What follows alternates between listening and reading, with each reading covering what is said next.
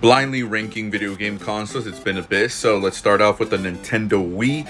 I'm gonna put the Wii at a solid number five. Had some amazing games. The Atari 2600, look, it's very revolutionary, but I'm gonna put that at a number nine. Definitely not the worst. The Intellivision never played it. Don't really ever want to play it. The Brick. yeah, I actually had some good memories with the Brick games. So I'm gonna put that at a number eight. I have no other choice otherwise. The PS5. I know a lot of people are big fans of the PS5. It is what it is. I'm gonna put that at a number four. Okay, it still needs a, we needs a lot of games currently. The GameCube, I'm gonna I feel pretty confident putting the GameCube at a number two. Amazing, amazing console. The Xbox One, look, I'm gonna get flame for it. Some Xbox diehards, I'm gonna put that at a number seven only because I didn't grow up with an Xbox One. The Nintendo DS, I'm gonna put at a number six for now.